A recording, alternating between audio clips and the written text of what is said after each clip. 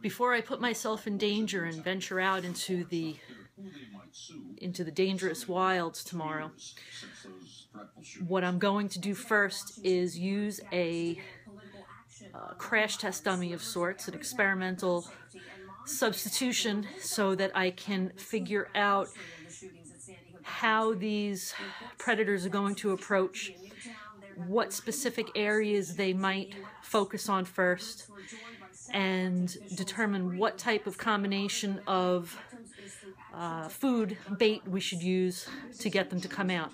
We're in the middle of a very bad storm.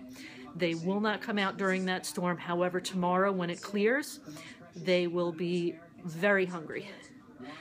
So what I'm going to do is utilize the dummy that we have set up and I have a, I don't want to say domesticated, uh, but I have a specimen that is, you can say tame, but is still a wild animal. She has been hand-reared since after being born, but still has those predatory instincts and we have to be careful. Okay, so now we're ready. This has been sitting for a couple of minutes and now it's a nice consistency. It smells really good. It should do the trick to lure them in. What I'm going to do now is I'm going to bring in uh, my the test dummy that I put together and uh, what I did was I created a protective suit for it so that I may be able to see specifically where uh, the animals go after and in return, I have to make sure that I am protected accordingly.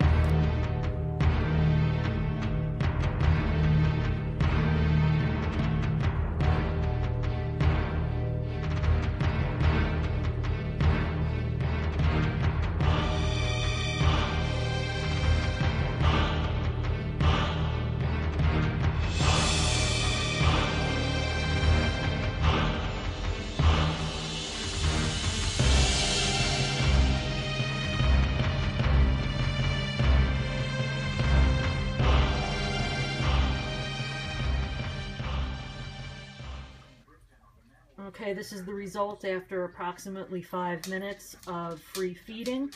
Uh, definitely going to have to make sure to protect my arms, uh, protect my legs, protect my face. Uh, looks like also uh, my abdominal area as well.